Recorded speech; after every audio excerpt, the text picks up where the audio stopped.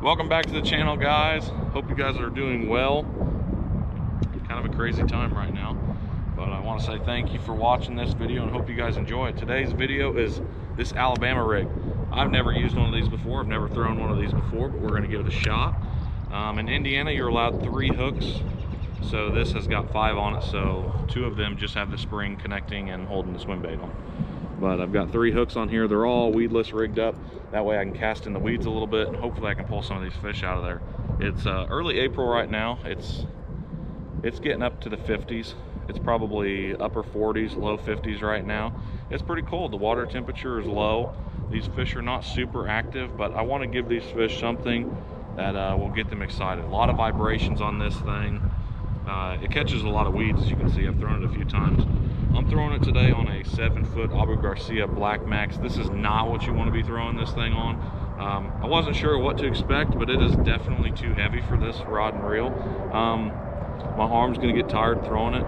It's a very cool lure and uh, let's get it in the water and see if we can rip some lips, but uh, stay tuned. It is insanely windy, so stay with me today, guys. But uh, I'm using a heavy duty umbrella rig. I think Frenzy is the name of the people that make it. Um, yeah, it was just a cheapo one that I've got off of tacklewarehouse.com. Pretty excited about it. And I've got five Keitech swim baits on there, and three of them have got weighted uh, swim bait hooks, 4 And so I think that's going to be what we're going to use today. But we'll give it a shot and see what happens. Hopefully we don't get into this issue, but if these fish don't grab the right swim bait, they could potentially just pull it off because it's only held on with the spring and the spring's really strong, but I'm not sure if it's strong enough to hold it from a largemouth bite because those are pretty intense at times. I'm trying to make sure that my swim bait, the tip of the hook, is just buried in that plastic just a little bit. That way it's as weedless as possible. Now I'm going to go straight to kind of where I've been having some luck at. And I'm going to go into these uh, submerged logs, and there's a little bit of timber there. And right off that edge, there's a little bit of a drop off, and that's where I'm going to try to cast this thing. It's a beast to cast, but uh, it works pretty good, I think. I've seen a lot of videos where they work great, but we're going to give it a try today, and hopefully we can get some largemouth on it. You want to make sure you tie yourself a really good knot, because if not, you're to lose about $30 worth of plastics, hooks, and umbrella rigs.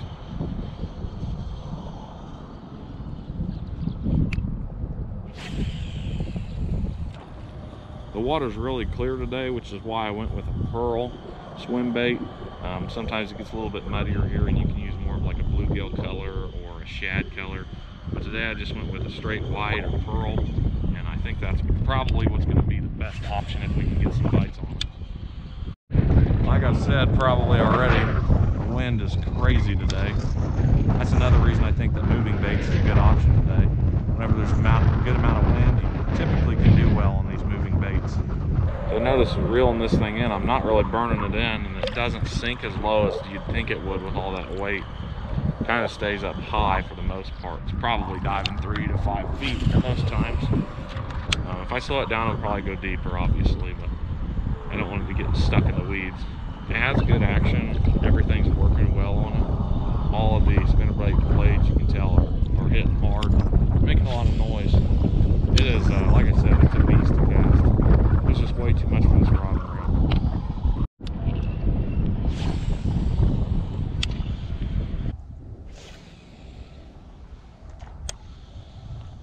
This thing is a beast to cast.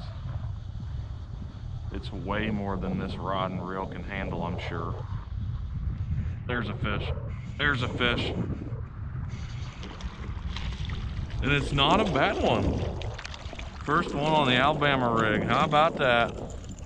Oh my. What a mess. But he took one of the three. That's good. Got them all weedless swim baits rigged up. First fish. Heck yes. Going for a nice gracious release. Boom. There he goes.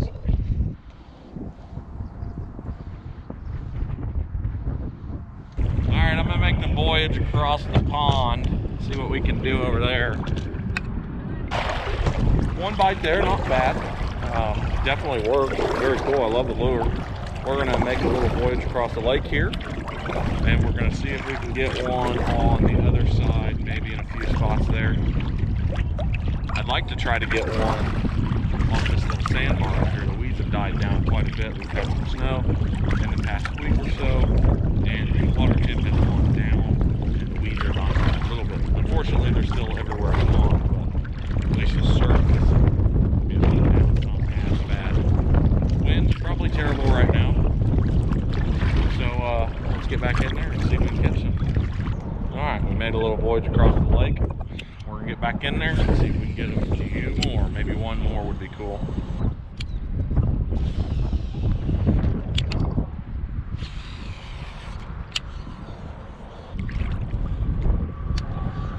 Well, guys, thanks for watching. I hope you enjoyed this episode. Um, it's obviously going to be a short one, only one fish today, but it was a lot of fun to come out here and give it a try. You know, the weather's not cooperating, and uh, you just can't do anything about it. The winds today are atrocious, very high winds, but the Alabama rig is it's fun to throw. I mean, obviously it's got a lot of weeds on there, but it works great. Um, we were able to get one fish. It does work well.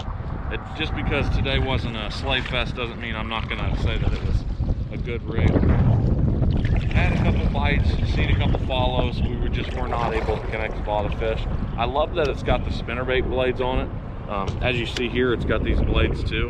Um, not all of them have that blade, but these ones do, and I think it really adds to that the value of this A rig because it makes a lot more noise in the water. You know, you can just feel the vibration through your line and through your rod when you're reeling it in.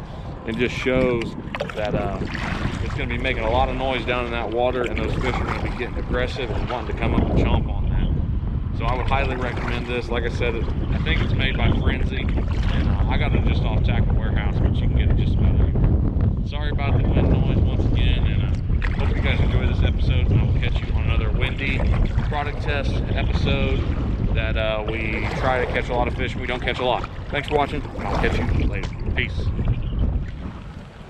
Boom!